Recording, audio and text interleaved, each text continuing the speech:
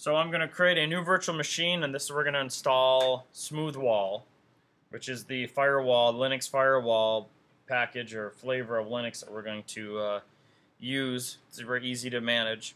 So we're going to continue without a disk, and I'm going to use an ISO file. The ISO file is actually not located on the data partition of our computers. It's actually on the uh, server, and it's underneath Student Share.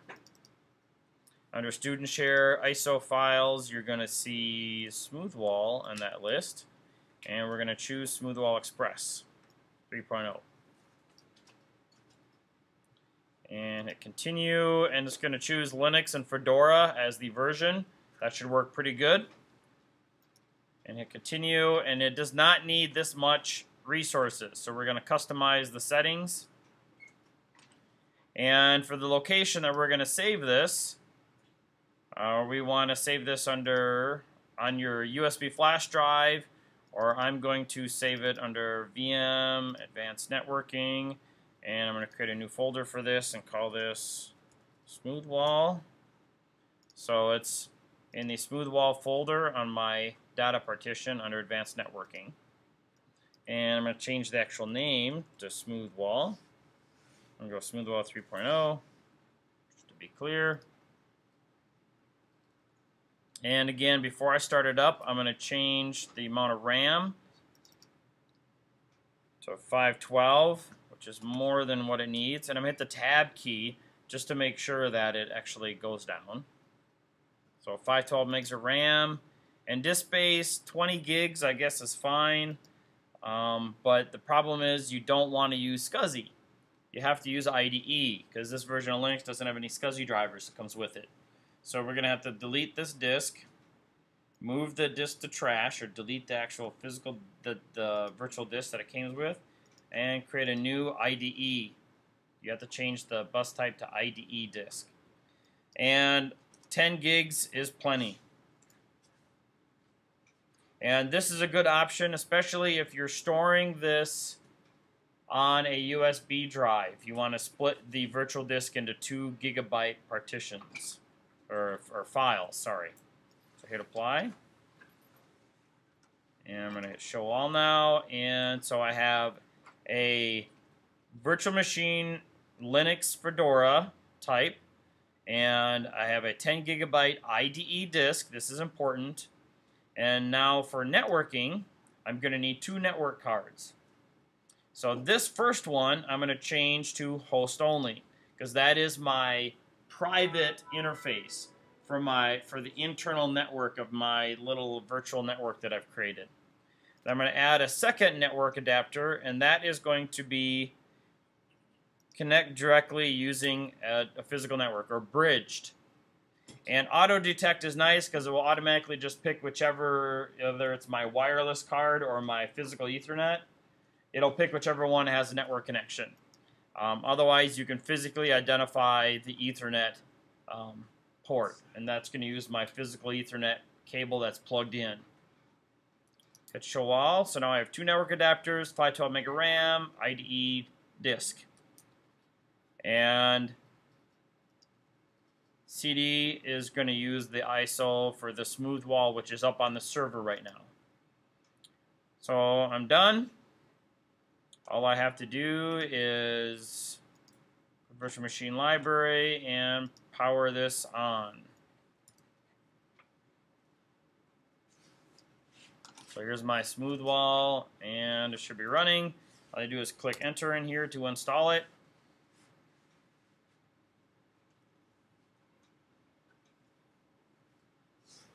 So welcome, smoothwall.org insert the CD-ROM drive, which is already in there because we boot off of it. The installation program will now prepare the hard disk, hit OK, and it's going to format everything on a 10 gig IDE disk that we created. It's going pretty fast.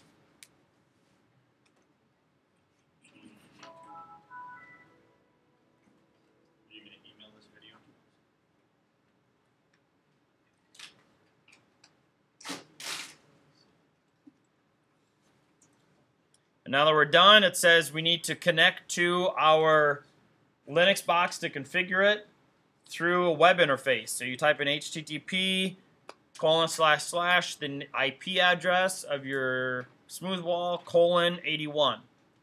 Or you can use HTTPS colon slash slash the IP address of your firewall colon 441, whichever one you want to use. And you want to restore the configuration. We don't have a restoration, so I'm going to arrow over to, or keep it on no, because I'm not going to restore config. Choose, arrow down to US keyboard, hit tab, hit OK, and give it a name. Smoothwall is fine, hit OK. And this is where I want to choose open. I do not want to leave it half open. I want to change the default security policy to open all the way. And I'm going to change here the network configuration type to green and red. Green being the internal private network, red being connection to the ISP's modem or our internet connection. And then I go down to drivers and card assignments. Do some change these settings? Yes. And it's going to look for cards. And the first one it finds, it's going to assign to the green interface. And the second one it found, it's going to assigned to the red interface, which is the second network card in here was, remember, the bridged interface, so it's going to use the lab as our external internet connection. Address settings for the green interface, it defaults to 192.168.0.1, which then I'm going to have to use that as my internal network. I'm going to change that to 172.16.0.1 and I'm going to leave it a 32-bit uh, mask. Okay, so that's the IP address of my private interface. And I arrow down to red, and red is going to use DHCP. So I change red to use DHCP. It'll get an IP address from our ISP. Okay, tab tab the done. And DNS and gateway settings, it'll also get through DHCP. So tab, tab to done, and I don't have to configure any of these other settings, so I tab to finish. This is the password, and I'm just going to use password as a simple password for the admin user and the root user for this system. And setup is done. It's going to reboot.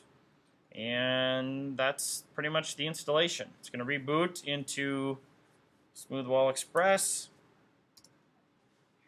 And my firewall is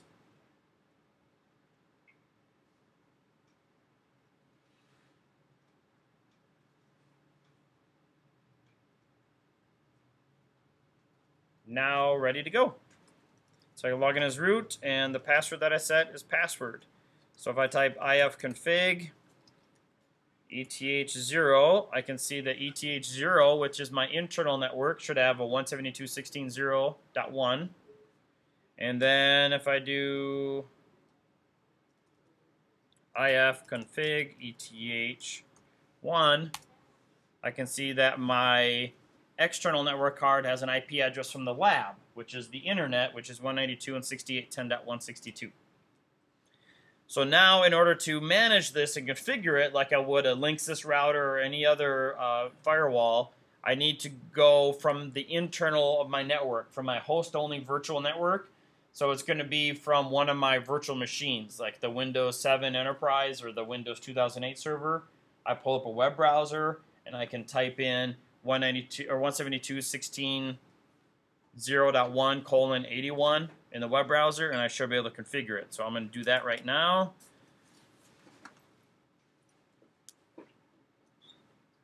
So this computer is going to need an IP address.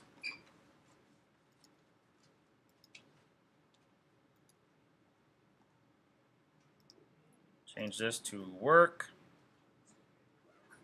network location. And now I need to change the adapter settings.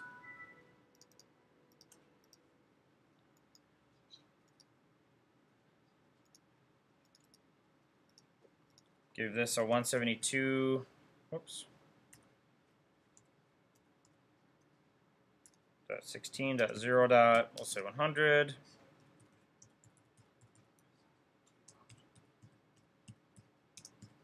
0.1 is the gateway, and we'll use 172.16.0.1 for my DNS server as well, because this firewall comes with a built-in DNS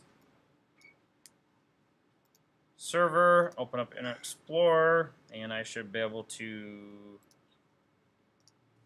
type in 192.168. Oh, sorry.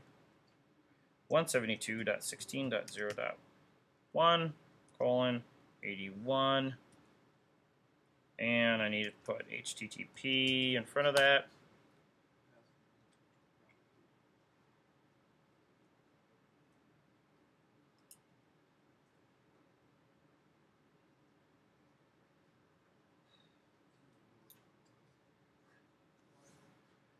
Probably want to make sure my network adapter, aha, there's my problem, is host only. So here, we want to add, let's try that again. Hit enter on that.